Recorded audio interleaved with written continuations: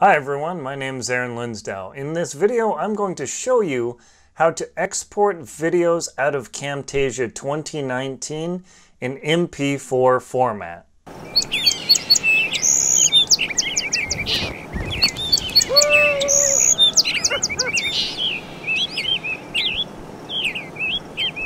I'm going to show you how to transform and export your videos in MP4 format in Camtasia 2019.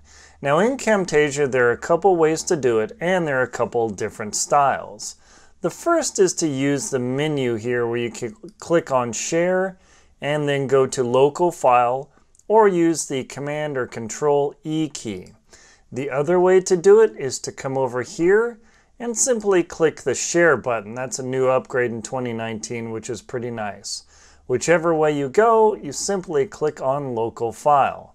Now, there are two primary options you can use in exporting with Camtasia. The first is export to MP4.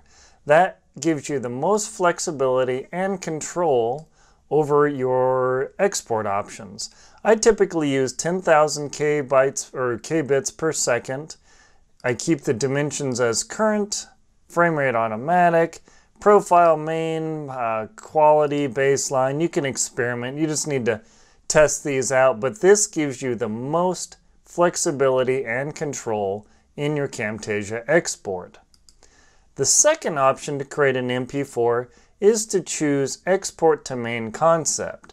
In this option, Camtasia cuts almost everything down to a simple slider from higher quality, medium quality to smaller size. Just to give you an idea, I did a sample file at 2 minutes and the small size was about 13 meg, the medium was 160 or so meg, and the higher quality was 300 plus meg. The difference between the medium and the higher was almost irrelevant, and to me at least. And then the dimensions, you can again choose your dimensions that you want to export. We're going to hit OK, and I'm going to just simply type test export. In main concept, you click export, and then you wait for it to process. I made just a real short 30 second clip, so this would not take so long and you'll be able to see momentarily what this looks like.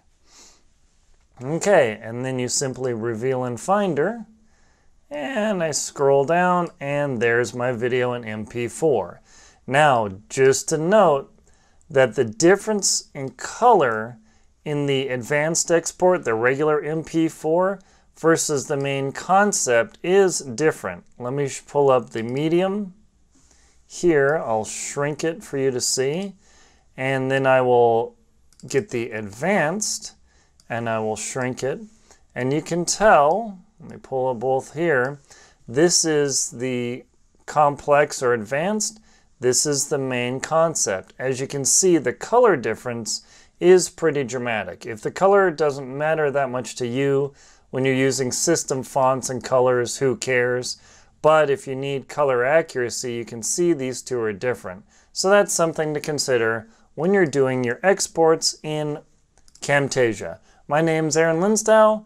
I'm a professional designer and videographer. Thank you very much for watching. Please like and comment on the video, and if you found it helpful, subscribe to the channel. Thank you very much for watching.